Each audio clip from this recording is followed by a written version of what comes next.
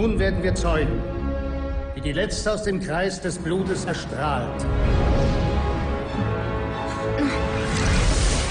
Aber warum hab ich es? Was, du meinst, es passiert? Wieder?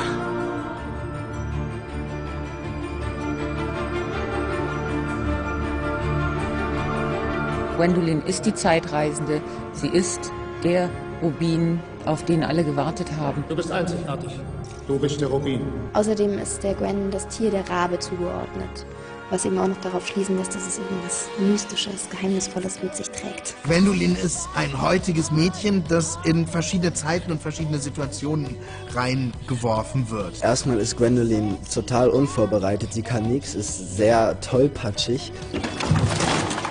Aber ihre Stärke ist dann eben, dass sie bei dem Ganzen menschlich bleibt und auf ihr Herz hört. Sie ist eben mehr so der kleine Rebell quasi so in der Familie. Ich muss rausfinden, was mit mir passiert und wofür das gut ist.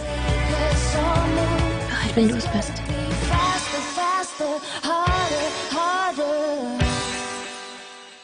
But you don't know what it means.